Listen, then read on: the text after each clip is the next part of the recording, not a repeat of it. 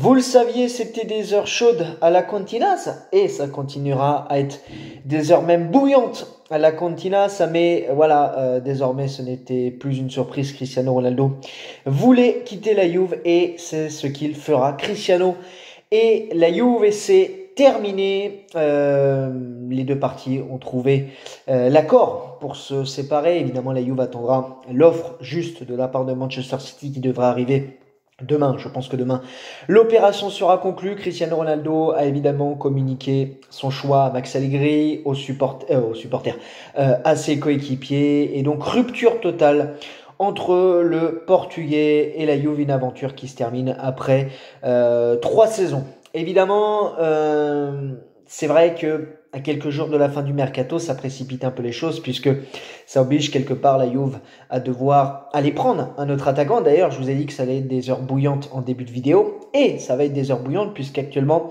sommet en cours à la Quantinas pour essayer un petit peu de délimiter la stratégie. peut-être pas d'avoir des noms un peu plus concrets, mais savoir sur quelle stratégie justement ira la Juve. Les équipes de Sky ont tout à l'heure sorti euh, quelques noms. Il y a eu notamment euh, des contacts avec Mauro Icardi, une tentative de la Juve euh, pour Mauro Icardi, mais le joueur préférerait rester pour le moment au Paris Saint-Germain. Hum, là aussi, la Juve avait fixé comme objectif numéro un, et vous le savez, puisque si vous savez ce, suivez ce canal, vous savez que Gabriel Rezout était l'objectif numéro un des Bianconeri, mais Pep Guardiola ne veut pas s'en séparer, donc la Juve va devoir trouver d'autres euh, solutions. D'après les équipes de Sky, euh, il y a eu plusieurs noms euh, proposés justement, et c'est en toute logique. Vous savez que les agents de nombreux joueurs vont commencer à les proposer à la Juve, puisqu'avec le départ de Cristiano, ça libère une place pour les attaquants. Donc le téléphone de Cherubini risque d'être bouillant. Et donc il y a eu les noms de Aubameyang, de Lacazette, de Griezmann qui ont été proposés, mais la Juve va vouloir aller sur un profil jeune. Évidemment, la reconstruction démarre aujourd'hui les amis, et non pas l'année prochaine, avec donc 12 euh, mois d'anticipation, les Bianconeri euh, démarre un, nouveau cycle. Euh, le profil justement, il a été délimité, c'est-à-dire un profil jeune, encore une fois, je suis pas là pour vous sortir des noms parce qu'à l'heure actuelle, euh, il n'y a aucune confirmation sur les noms et la Juve est en train justement euh, d'essayer d'analyser un petit peu ce qui pourrait se faire. Alors, il y a des hypothèses. Les hypothèses euh, sont notamment Scamac, Moiskin, dont Mino Raiola était présent aujourd'hui à Turin.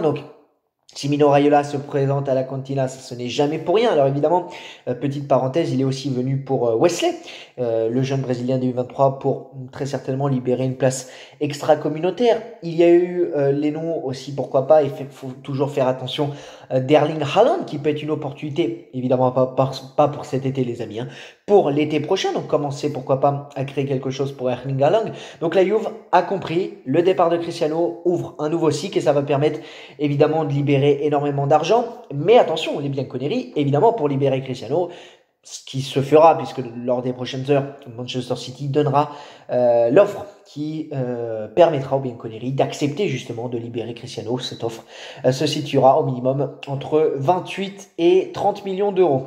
Euh, c'est vrai que voilà, cette aventure se termine assez prématurément.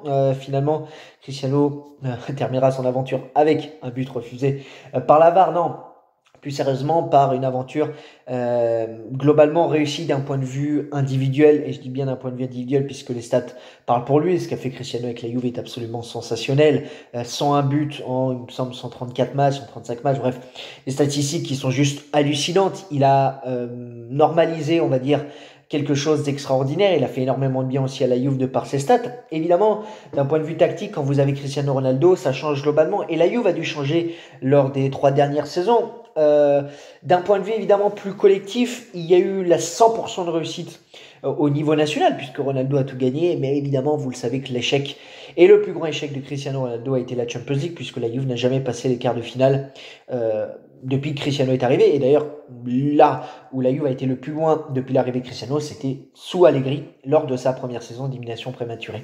Face à l'Ajax, donc, il y aura toujours cet avant-goût de se dire, cet arrière-goût, pardon, de se dire, bah il y a quelque chose qui n'a pas eu lieu. Alors euh, je suis pas là pour vous dire que Cristiano Ronaldo ne fait pas partie euh, des joueurs importants que la Juve a connus lors des dernières saisons. Si vous voulez mettre euh, Carlos Tevez, euh, tout ce que vous voulez devant Cristiano Ronaldo, il n'y a aucun souci et je partage d'ailleurs cet avis.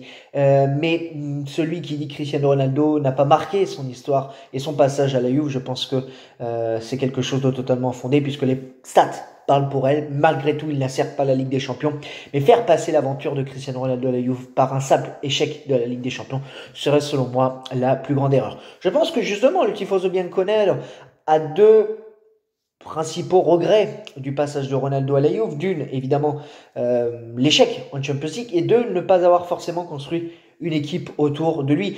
Et c'est peut-être aussi pour ça que Cristiano est arrivé à un point de non-retour cette saison avec la Juve. Il a vu que bah, finalement la Juve revenait au même problème, les retours des prêts, certains joueurs de prêts qui aujourd'hui bloquent certains achats. La Juve qui n'a pas pu aussi euh, certainement faire le mercato qu'elle souhaitait puisqu'économiquement c'était pas possible. Et puis peut-être l'envie aussi de Cristiano d'aller chercher tout simplement un nouveau défi. On parle d'un joueur qui a 37 ans, qui aura très peu de chances encore de gagner la Ligue des Champions. Euh, alors je vous donne des hypothèses, mais euh, avec l'arrivée de Messi au PG, nouveau défi pour Messi, bah peut-être nouveau aussi défi pour Ronaldo. Bref, plein de stimulants qui ont certainement fait qu'aussi Cristiano s'est dit c'est le moment de euh, quitter euh, la Juve.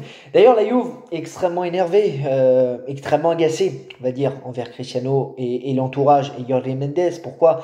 Parce que, hum, certes, même s'il y avait dans l'air cette sensation de se dire que Cristiano pouvait réellement quitter la Juve, après son retour à la Cantina, ça le 21 juillet, euh, on, avait quand même cette sensation Cristiano pouvait rester, avait des grosses, grandes chances de rester.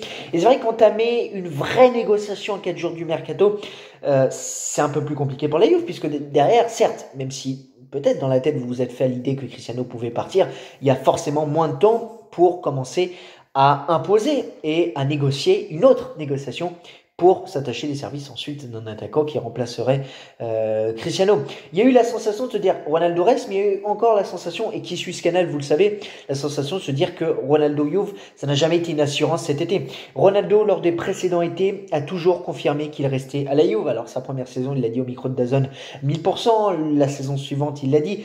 Cette saison, ça a été des messages mystérieux, des messages où jamais il a vraiment confirmé qu'il serait bien connu. Alors, petit détail, et je suis pas très réseaux sociaux pour ça, mais il n'y a jamais eu de Forza Juve, hashtag Forza Juve, hashtag euh, Continuame così, tout insieme, bref, des choses que Cristiano a l'habitude euh, d'écrire. Donc, il y avait quand même des indices. Indice social ne veut, indice de réseaux sociaux ne veut pas forcément dire grand chose, les amis. Et là aussi, je suis complètement d'accord. Mais ce n'est pas un secret et encore une fois, qui suit ce canal le savait, euh, Ronaldo a évalué toutes les opportunités et les a évaluées jusqu'au bout.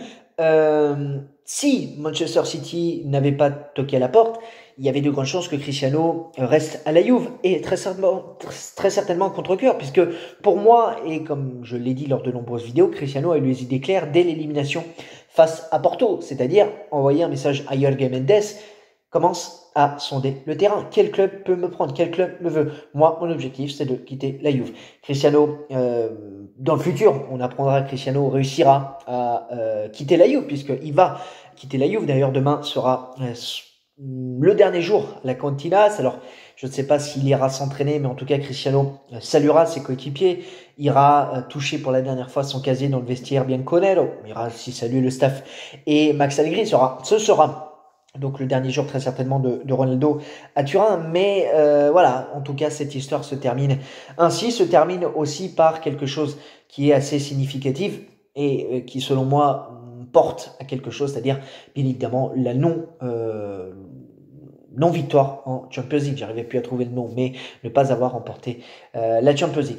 Mais bon courage à Cristiano Ronaldo pour sa nouvelle aventure du côté de Manchester City. On verra ce qu'il pourra donner euh, cette saison là aussi en Champions League. D'ailleurs, Manchester City affrontera le Paris Saint-Germain en phase de poule, donc on aura le droit à un deuxième deuxième année de suite le duel entre Cristiano et Messi, ça sera sympa. Merci pour tout Cristiano, merci de nous avoir fait rêver, merci. Euh, alors que vous soyez tifosi, que vous soyez amateur de football, tout ce que vous voulez. Euh, en tout cas moi qui suis la Juve.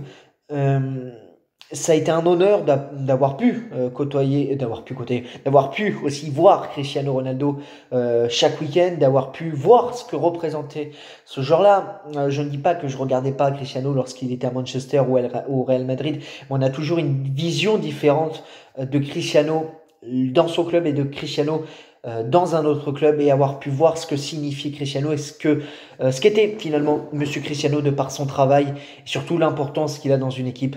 Ça a vraiment été sensationnel. Évidemment, un grand merci à Agnelli qui a réussi un coup fantastique d'apporter euh, Cristiano Ronaldo. Évidemment, je me place dans l'optique de me dire que le plan Ronaldo euh, n'allait pas être un échec en Europe et il faut voir d'un point de vue global. Je pense que il faut pas seulement voir ce plan-là euh, d'un point de vue européen justement et aussi euh, prendre en compte le plan national.